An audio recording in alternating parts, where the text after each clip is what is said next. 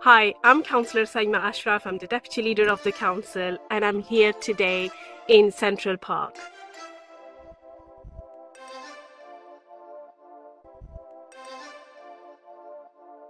Our parks and open spaces are loved and used by so many residents.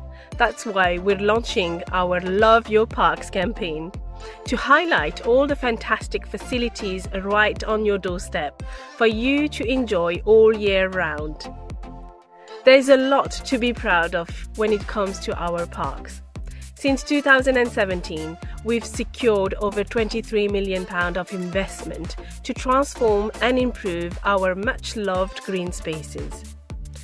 We're also so pleased to have seven Green Flags Awards under our belts with the hope that we'll secure even more over the coming years.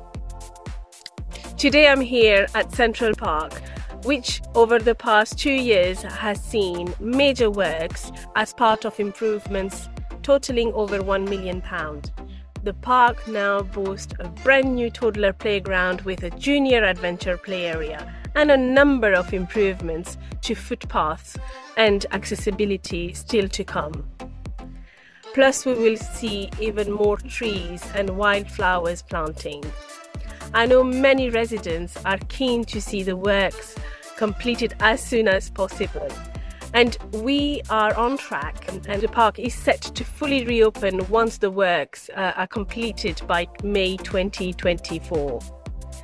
Keep your eyes peeled as we share more information over the coming weeks about the fantastic facilities you can find in all your local parks, as well as the improvements we're making to the other parks we know you love, including Parsloes Park and Old Dagenham Park. In the meantime, I hope to see you out and about, enjoying and looking after our wonderful parks this summer.